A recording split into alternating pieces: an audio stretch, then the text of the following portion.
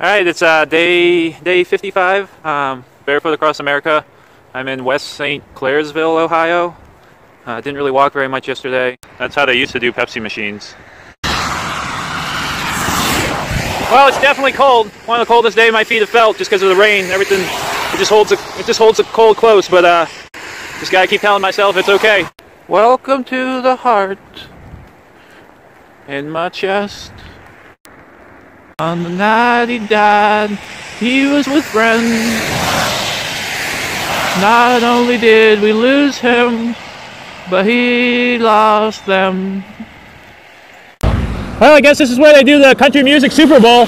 Jam- Jamboree in the Hills. I don't know. I don't know enough about Super Bowls or country music to know what this is, but uh, it doesn't seem to be very popular right now.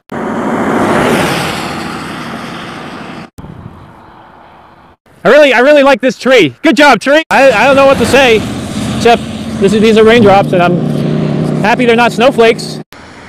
Well, we're headed into uh, Morris, Morristown, Ohio. I finished another day. Oh, cool. Vice tweeted about my trip. Oh, cool. What are people saying? Oh, wait, people don't believe in climate change? Oh, man. This guy doesn't think I voted. This person thinks I'm gonna get frost. Oh, this person thinks I'm un, un, I guess this guy drives a truck. I guess this is something. Oh, this person wants to join me. Come on, come out. This person thinks I'm a white person. Oh, yeah, that's kind of true. Here's another person saying I need to get a job. Here's someone calling me lazy. Here's someone saying, must be nice to have that much free time. He, he thinks I have no responsibilities or job and just walking around and I, have, that I don't have bills. Everyone, a lot of people online that have read about my trip that don't know me think I don't have a job. I actually have a job. I took an unpaid leave of absence from the job. So yeah, and people just want to be negative and say, look at that jobless, unemployed hippie. Uh, the internet's not going to listen. So why am I arguing with it? Okay, this isn't my first experience dealing with the internet, but it's tough sometimes to remember how you're supposed to deal with it when half the internet don't believe in science and they also don't like you and they also think you're a moron. the internet thinks I'm a moron. Cool. Welcome to the Royal welcome to another edition of Royal Leaf.